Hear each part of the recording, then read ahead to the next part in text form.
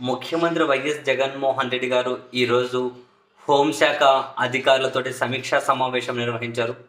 హోంశాఖ మంత్రి తానేటి వనిత గారితో పాటు ఉన్నతాధికారులందరూ కూడా ఈ సమావేశానికి హాజరయ్యారు. అయితే ఈ సమావేశంలో ముఖ్యమంత్రి గారు మొదటి దిశ యాప్కు సంబంధించి ప్రతి ఇంటికి వెళ్ళి అడగండి ఆ దిశ యాప్ను డౌన్లోడ్ చేసుకున్నారా? ఆ దిశ యాప్ ఏ విధంగా యూజ్ చేయాలనే దాని మీద అవసరమైతే కరపత్రాలు పంచమని చెప్పడం.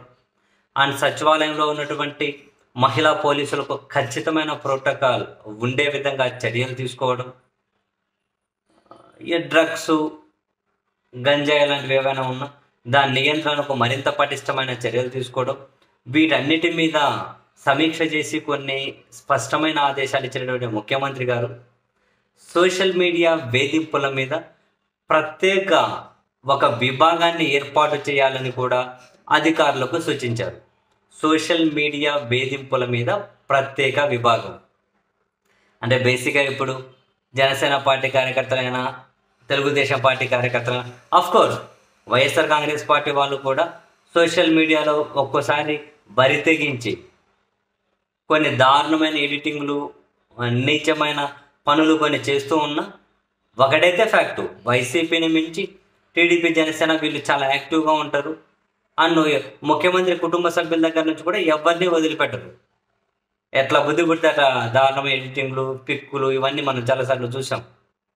అయితే జగన్మోహన్ రెడ్డి గారికి తెలుగుదేశం పార్టీ మీడియాకు మించి తెలుగుదేశం పార్టీ జనసేన వీళ్ళ అనుబంధ విభాగాలు ఈ సోషల్ మీడియా నుంచి వీళ్ళ ఈ సోషల్ మీడియా నుంచి కూడా సగ గట్టిగానే తగులుతూ ఉంది.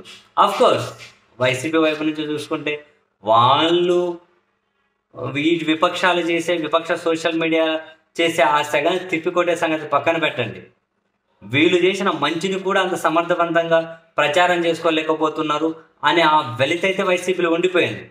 వైసీపీ సోషల్ మీడియాలో కొందరు యాక్టివ్గా పనిచేసిన టీడీపీ జనసేన సోషల్ మీడియాతో పోల్చుకుంటే వాళ్ళంత బరితెగింపు ఇందులో లేదు అన్నది కూడా మనకు చాలాసార్లు కళ్ళ ముందు కనిపించేది.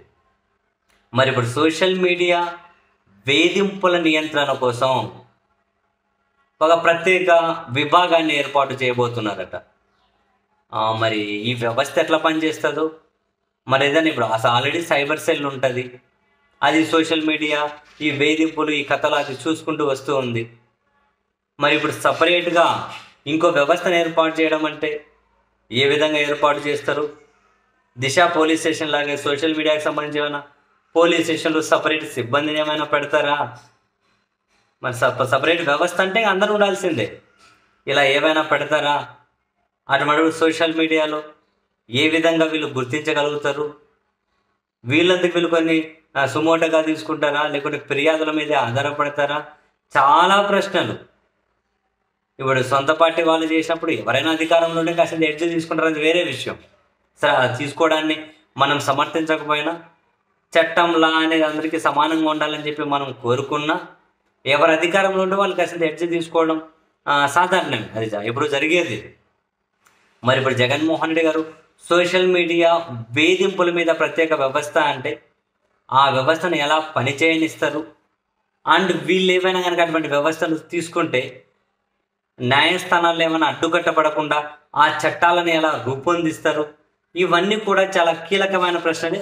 చూద్దాం. ఈరోజు ముఖ్యమంత్రి గారు ఆ విధమైన సూచన అయితే చేశారు. అది ఇంప్లిమెంటేషన్లోకి వచ్చినప్పుడు ఏ విధంగా ఎగ్జిక్యూషన్ జరుగుతుంది అన్నది క్లారిటీ వస్తుందేమో.